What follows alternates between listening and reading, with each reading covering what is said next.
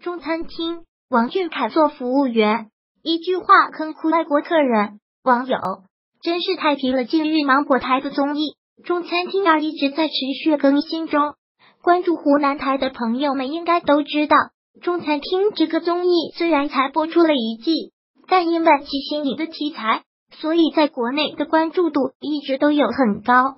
第一季的《中餐厅》结束之后，很多网友大喊不舍。期盼的这第二季赶紧播出。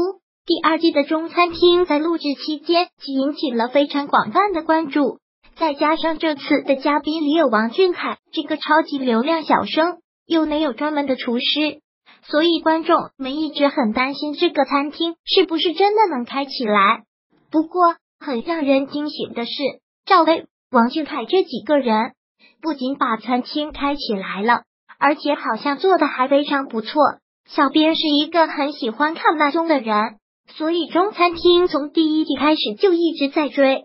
我觉得看见节目里嘉宾做出来的一道道菜，这个过程就是一件非常让人享受的事情。因为赵薇、苏有朋和舒淇这三个人都是几十年的好朋友了，所以他们三个之间的关系肯定是不需要多说什么。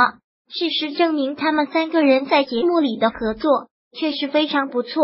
除了三位前辈外，小白和王俊凯这两个年轻人的表现也非常不错。厨房里补充菜品的事一直都是他们在做，而且也非常懂事。用比较直白一点的话说，就是情商比较高。小白从这几期的表现也可以看出，虽然他做事稍微有些毛躁，有时候也比较固执，但总的来说还是很不错的，一直在干活，也没有什么怨言。他跟王俊凯两人时不时的争论，也是中餐厅的一大看点。这几个人里，最让人惊喜的还是王俊凯。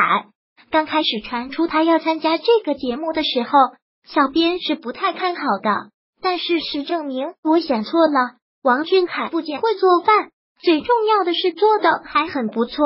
虽然确实不像一些综艺老手很有梗，但就是偶尔的有梗才更搞笑。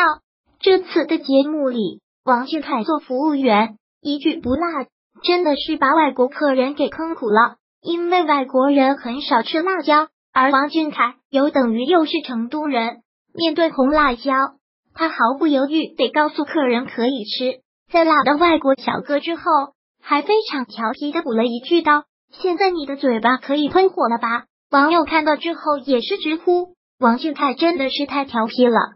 虽然很多网友说。综艺有剧本，但小编觉得明星参加综艺在一定程度上还是能反映他们的真实性格的，而明星们真实的一面也是我们非常想看的。希望以后王俊凯小朋友可以多参加综艺，因为他真挺适合的。